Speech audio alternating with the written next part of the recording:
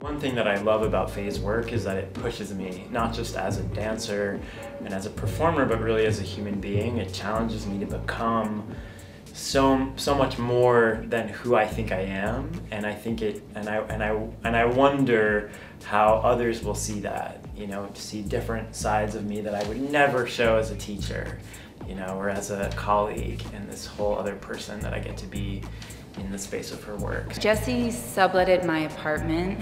That's how we met. We actually became friends at, at, ADF and just really loved him as a person and as a performer and thinker. We reconnected and, and became friends and then decided that she wanted to keep working with me, which was great, which I was happy about, and invited me to be part of this new project. And we just got into the studio, the two of us, and it became clear that oh, this is this is about us. Like this is about our relationship. It was very collaborative. There was a lot of dialogue, a lot of conversation, a lot of generation of material through our body, through both of our bodies, and then me obsessively videotaping it and like um, editing it and um, watching and kind of crafting what had come up in those improvised scores. So there's no moment that hasn't been deeply investigated and choices have been made, but alongside that there's the sense of, of really being just the two of us. It's really a duet that looks at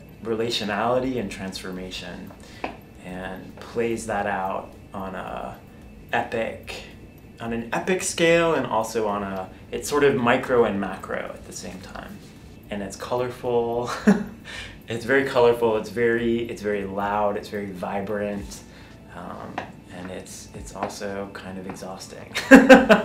In a way ADF is my dance home and I feel like ADF has seen me as a beginner has seen me in Shen Wei's work and now seeing me in Faye's work which is like such a different kind of work than, than the work that that Shen Wei makes. I'm really excited for you know to really bring this the the scope of of me as an artist to this place, which is my my dance home. I feel like I have this history now, having been a student, having performed with Doug Varone, having made work on the students here, and now coming back to to perform You're Me. So.